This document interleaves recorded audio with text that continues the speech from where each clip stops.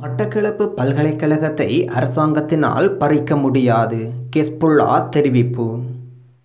மட்டக்களப்பு பாலச்சேனை புனானையில் நிர்மாணிக்கப்பட்ட பெறும் மட்டக்களப்பு பல்கலைக்கழகம் என்ற கல்வி நிர்வாகத்தை அரசாங்கத்தினால் சுவீகரிக்க முடியாது என்று கிழக்கு மாகாண ஆளுநர் கிஸ்புல்லா அறிவித்தலை விடுத்திருக்கின்றார்.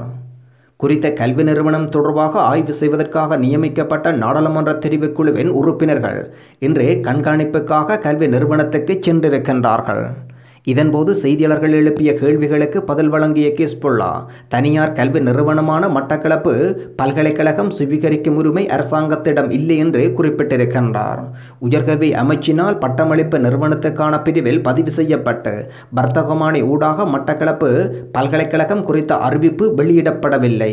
அதனால் இதனை அரசாங்கம் சுவீகரிக்க முடியாது.